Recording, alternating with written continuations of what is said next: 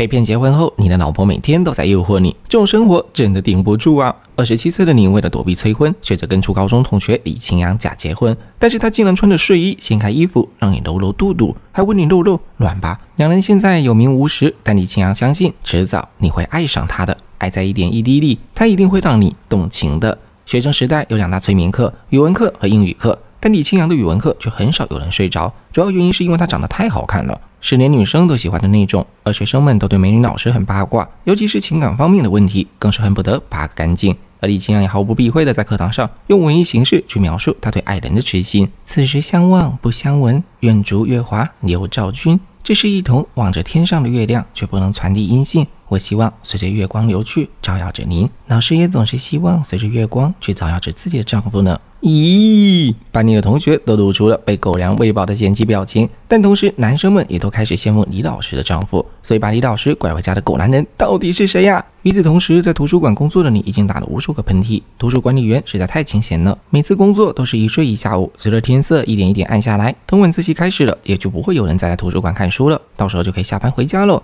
请问一下，下班一起回家吗？这本书在哪里？哦，这本书在。你突然觉得不对，有这本书吗？抬头一看，李清扬就站在自己的面前，看着温柔轻笑的李清扬，你只觉得这个世界没有什么是不能原谅的。这姑娘长得是真的好看，见你愣神了。李清扬有点霸道的说道：“下班一起回家吗？”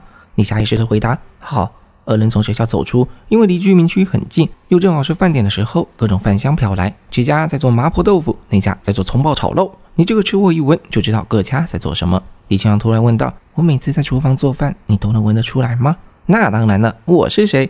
看来你很期待我给你做的饭呀。”这话说的让你没办法往下接，直到过了好久好久，你才悠悠地说了一句：“你做的饭挺好吃的。”李江明明听到了，但却故意调侃：“你说什么？我没听清。”你傲娇的要死，夸了一遍就不会再夸第二遍。李江仿佛很了解你的性格，因此也没有再强求。结婚后，我们还是第一次这样在外面散步吧。我们只是行婚，这种夫妻之间的日常没必要发生在我们身上。可是朋友之间散个步，好像也没什么吧？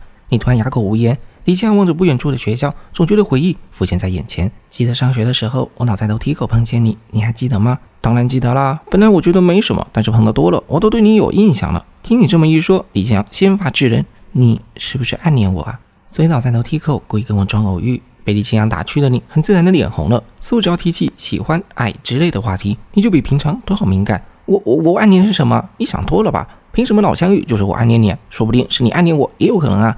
你不甘示弱的怼了回去，本以为李清扬会再怼回来，结果他在听到你的话后，安静了许久许久，这个样子仿佛在说，确实被你猜中了，但我也没办法直说啊，气氛一时间变得有些尴尬。你寻思自己身为男人，要不要主动点，再聊点其他的？然而就在你思考的时候，李清扬突然伸手搂住了你的胳膊，女人娇软的身体也随之贴了上来，你慌了，彻底慌了，肢体碰撞带来的触感令人心跳加速，你心底竟然产生了一丝丝的暗爽，那你作为一个死傲娇，怎么可能表现出来？虽然表面风平浪静，仿佛没有一点感觉，但仔仔细看，你的耳垂早已红透了。你突然搂搂我干啥？李江用极其柔弱的语气回答：“对面有几个男的看我，他们的眼神让我好不舒服，所以我想告诉他们，我有老公了。”说完，李强认真的看着你：“这样的情况也不能让我揉你吗？”你敢向对面仔细查看，对面没人啊。李强没想到你会如此直男，但又不想放手。过去了，你没看见而已。那人都走了，你还不松开吗？再等会，我怕他们又走回来。你没有在说话，因为现在这种情况，即便再直男也能明白，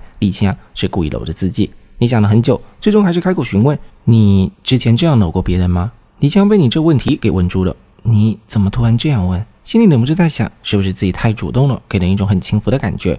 我从没有问过你感情上的事，毕竟两人只是假结婚，这种私人问题也不好意思问，但又有点好奇。两人高中毕业后就基本没有再联系，直到后来两人都回到了原来的高中工作，二人才被安排相亲，有了交集。李清很诚实的告诉你，我没有谈过恋爱，是真的没有谈过，网恋或者现实恋爱都没有谈过。你有些惊讶，毕竟像李清扬这样的大美女，肯定有优质男性去追她。李清扬解释，因为我这个人比较轴。说到这里，他总算松开了你的胳膊。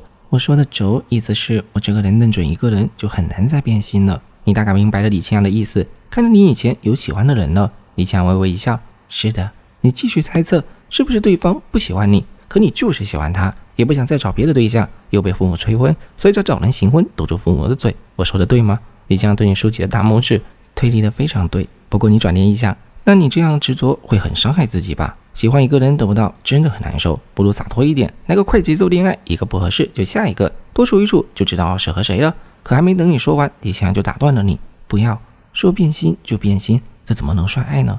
有句话说得很好，虽然别人可能不认同，既然无法爱上别人，那就继续执着爱着的那个人吧。你想了一想，好像有点道理，但毕竟你也从没有谈过恋爱，实在不知道怎么聊下去了。结果李清阳却问你，那你的理想型是什么呢？你有些害羞，但还是回答：小时候喜欢霸道黑丝大姐姐。李清阳有些郁闷，因为他不是这个类型的人。他的穿衣风格都是知性优雅，虽然也是御姐，但并不是性感妩媚类型。李想叹了口气，难怪主动半天都没反应，原来喜欢穿黑丝的呀。然而要说你没有任何想法，那肯定是假的。从来没有被年轻漂亮的女孩搂过，也没有摸过女孩肚子。假结婚怎么会有如此亲密的肢体接触呢？之前说好不干涉对方生活，怎么才结婚几天就全变了？李清阳，你的理想型是什么？没想到李清阳竟然面不改色的回答：就你这样的。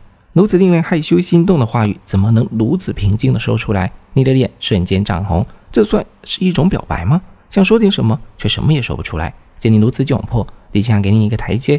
我开玩笑的啦，看你紧张了。可即便如此，你的内心始终无法平静。这个女人到底在想什么呢？